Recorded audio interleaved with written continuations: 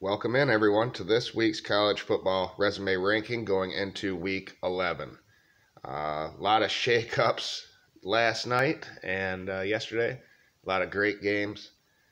Um, Ohio State comes in at number one.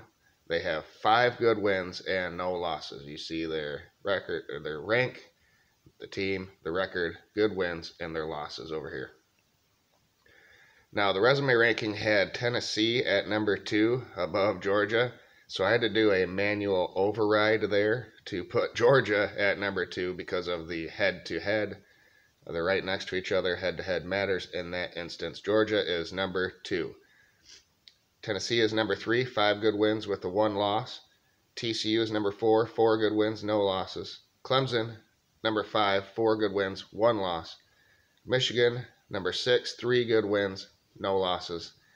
LSU, uh, number seven, four good wins, two losses. Illinois, four good wins, two losses.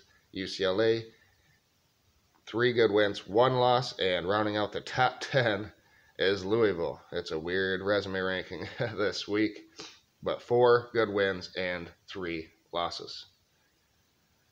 Number 11 is Alabama, 7 and 2 with 3 good wins. NC State is 7 and 2 with 3 good wins. Ole Miss comes in at number 13, two good wins with one loss. Same with Oregon and USC. North Carolina as well as Tulane, all two good wins with one loss. Notre Dame comes in at number 18, three good wins and three losses. Texas, the same, three good wins, three losses. Syracuse, three good wins, three losses. And rounding out, I did 22 teams this week. Penn State is at number 21, two good wins and two losses.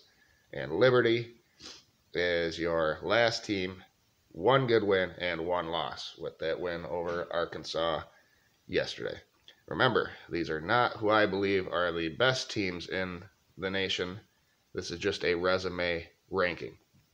And you can see a little preview right here of the three teams who I think are the best in the nation. Stay tuned for that video that will be coming out later today. And uh, remember to like, share, subscribe, and have a great day, everybody. Thank you.